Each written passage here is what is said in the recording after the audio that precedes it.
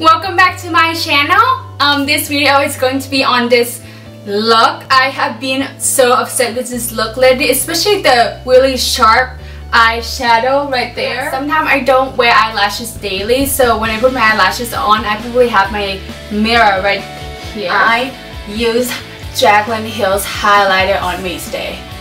Can we just like take a moment and just appreciate these highlights.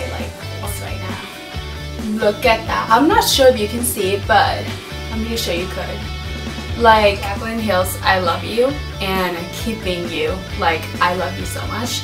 I think that's like my inspiration for making YouTube video. I have so many people that I watch on YouTube, but she's like my main one because she is so like humble.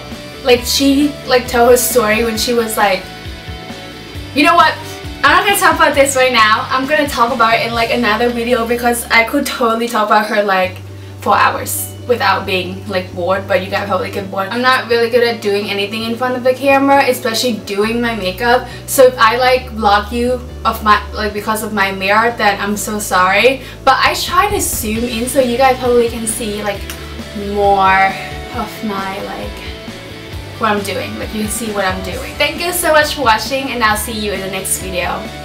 Bye! I didn't realize that when I put my primer on and my 3 eyeshadow, my camera wasn't recording. But I put hot cocoa on my crease and then I followed by autumns on my upper crease and then I followed by chestnut on my outer V of my eyelid and now I'm just blending everything together.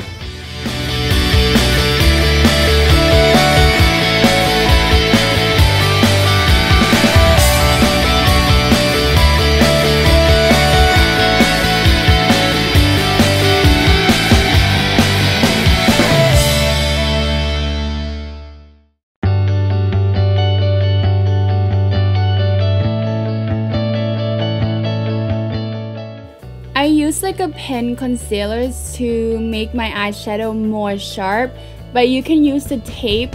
But when I use the tape it's kind of like rip off my makeup a little. That's why I prefer concealer because it just blend right in with my makeup